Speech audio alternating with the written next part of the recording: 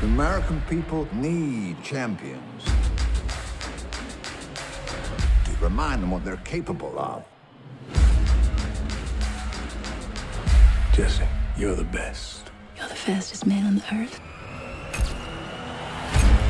Who do we have here? I'm Jesse Owens. You're a natural. I don't trust naturals. I will say, you can run. Boy, oh boy, you can jump. What I want to know is, can you win? Let's see what we got here.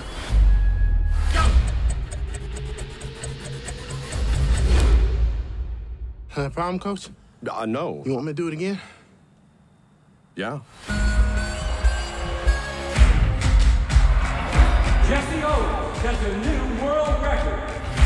You want to win a gold medal? Sure. You want to do it in Berlin? Mr. Owens, how can you justify taking part in Germany when there's so much discrimination here at home?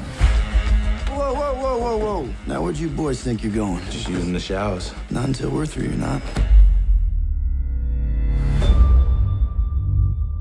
Jesse, you have a chance to strike a powerful blow. Under the Hitler regime, we must not go to these Olympic Games to show our solidarity with the oppressed people of Germany. You get a chance to be a part of history and you're gonna walk away from it? I got people looking at me for an example. I don't care about any of that! Yeah, well, you're right, Larry. You don't have to. People are counting on you. To do what? To get on over there to Berlin and beat those Nazis. You was put here to run. Don't listen to any of them. Out there ain't no black and white. There's only fast and slow. Nothing matters. Not color, not money, not even hate.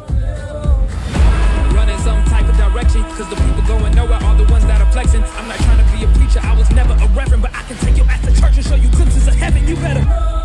For those 10 seconds, you are completely free.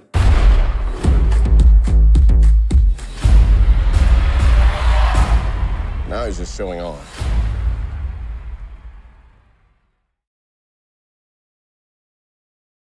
you